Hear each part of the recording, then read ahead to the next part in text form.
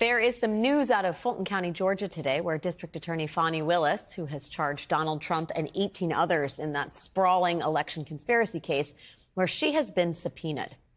DA Willis may now have to testify publicly at a hearing next month over allegations that she was having an affair with prosecutor Nathan Wade and that Mr. Wade benefited financially from their relationship. The subpoenas were part of a new lawsuit filed by Mike Roman, an alleged fake elector and Trump co defendant who's trying to disqualify DA Willis from this case. Mr. Roman is now claiming DA Willis is intentionally withholding information ahead of the hearing, which Ms. Willis denies. Now, it's unclear if either Willis or Wade will testify. They could both seek to quash these subpoenas, but if they do testify, they will do so under oath, and the hearing will be televised per Georgia law. Meanwhile, the judge in this case, Judge Scott McAfee, who is also overseeing Willis's election conspiracy case, has directed Ms. Willis to respond to the misconduct allegations by Friday. Now, these allegations are merely that allegations. And as of right now, they do not change the facts of the actual case against Trump. But could they change its outcome? Joining me now is Anthony Michael Kreis, Assistant Professor of Law at Georgia State University. Anthony, it's great to see you. Thank you for making the time. I know we checked in with you when this case was kind of, or what should we call it? The situation was first unfolding down in Georgia. And there has since been more evidence produced, if you will, of the relationship between Mr. Wade and Miss Willis. I wonder sort of what you think happens now in terms of next steps for Miss Willis and where Judge McAfee may come down on this.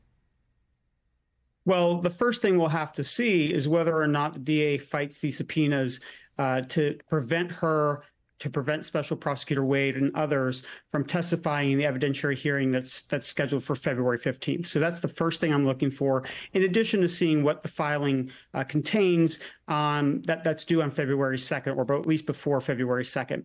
I, I, think really ultimately, as a legal matter, it's very unlikely that Judge McAfee will disqualify the office or will find that the prosecution is somehow tainted by this relationship if all the facts bear out as they seem to be bearing out. Um, there are two ba basic claims that are at issue here. One is a selective prosecution claim. In other words, the, prosecution was only pursued um, and advanced because there was a profit to be had by the DA and by uh, Special Prosecutor Wade. And then there's this claim that there is a uh, larger conflict of interest, um, that there's a pecuniary gain to be had from the conviction of these defendants. I think that latter claim is really unlikely to to manifest into anything um, in terms of a disqualification. The former one is is also really unlikely to to make to you know I think to get Judge McAfee's attention because it's really unlikely for these defendants to show that special prosecutors prosecutor Wade um, and his involvement in this case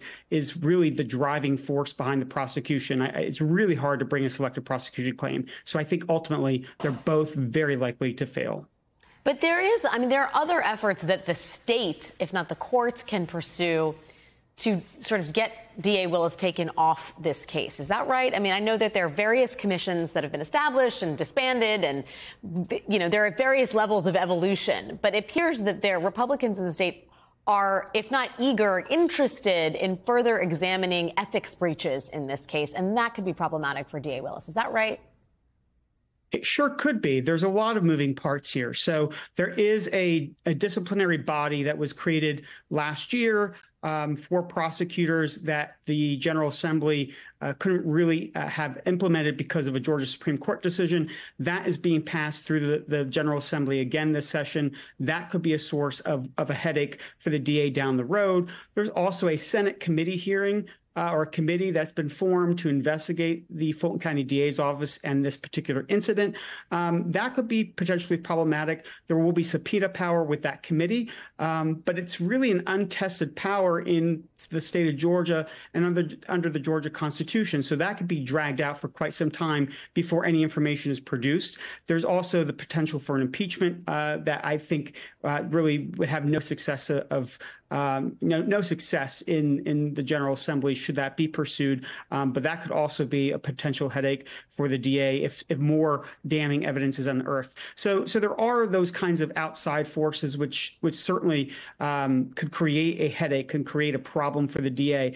I think that you know we really have to separate these issues out into two buckets, right? One is the political, and one is the legal. The legal one being, you know, does this derail the case in any significant way? That seems to be really unlikely to happen. But the political side of things, the optics of it, um, dealing with these kind of outside institutions looking in and uh, you know engaging in oversight, you know that that's something that I think that DA will really have to contend with and will be a, a major headache again, even if the ultimate legal questions before Judge McAfee are decided in their favor. Yeah, I mean the headaches are one thing, but one would think that all the sort of swirl of perceived controversy here might undermine her ability to on, on the most basic sense here, get plea deals, right? I, I think in December, um, Fani Willis said that there was a possibility that, you know, more of these co-defendants would be taking plea deals with the state.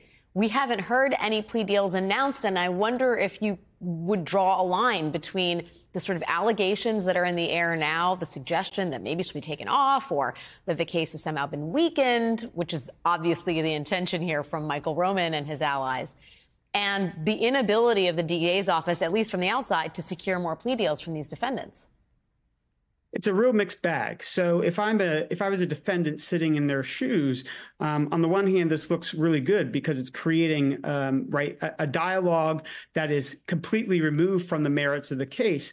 Um, on the other hand, people have pretty short memories. Uh, juries in the voir dire process are meant to ferret out people who come in with prejudices. Uh, so so there's a real kind of mixed uh, risk there. Um, the other thing too is if the, if there was a disqualification, there might be the chance that this gets sent to a DA's office that has no interest in pursuing prosecution, prosecutions or that will make super favorable deals or it could go to a neighboring uh, office like in DeKalb County, which is very similar to Fulton County, um, where you have equally talented prosecutors and the bandwidth and the political will to do, uh, you know, to, to continue this investigation. So that's a real risk as well. Um, I, I, don't know if it really ultimately will, will affect anybody's calculus, especially if they can get a particularly good deal. Um, I, I, think really what we have to see is what happens with the, the case on, on uh, February 15th and the evidentiary hearing, because this may be um, you know, much to do about nothing. There is certainly evidence that, again, is politically, um, you know, not ideal. It is certainly, you know, implicating potential ethical issues and the like. Um, but if it's not going to derail the case or remove the Fulton County District Attorney's Office from the case, um, you know, hedging hedging your your your bets against a RICO charge um, with an unlikely result, and you know, something you probably don't want to do. Right, hedging your bets against hedging your bets against a RICO charge equals never a good idea. Anthony Michael Kreis, thank you so much for your time and expertise on this matter. I really appreciate it. Thank you.